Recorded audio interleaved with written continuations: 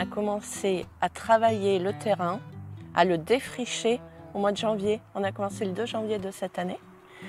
C'était une ancienne prairie qui, a été recouverte par les ronces et par les, bambous.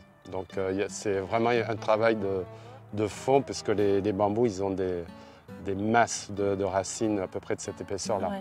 Donc ça prend énormément de temps à arracher tout ça. On a des paniers à la semaine, c'est-à-dire qu'on a des clients qui se sont inscrits.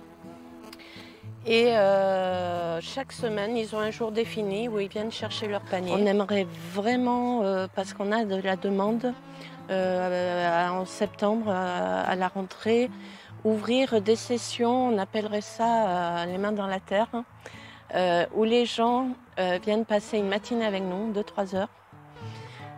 On les initie à la culture de légumes en permaculture, j'allais dire, mais parce que permaculture, c'est plus connu. Et ils repartent avec un panier. Voilà.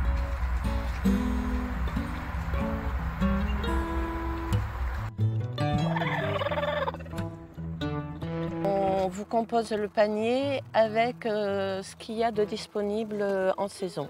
Voilà. Donc en ce moment, on le verra après, mais euh, on fait un joli bouquet d'aromates. On a des tomates, plusieurs variétés, des tomates anciennes, euh, des tomates cerises, des tomates moyennes rondes.